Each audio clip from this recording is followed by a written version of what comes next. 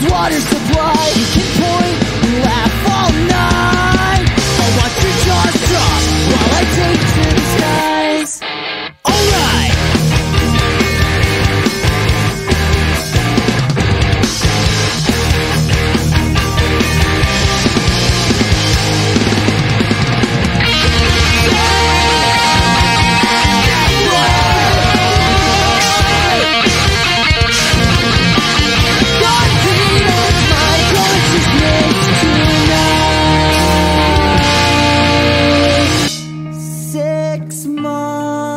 in a hospital bed.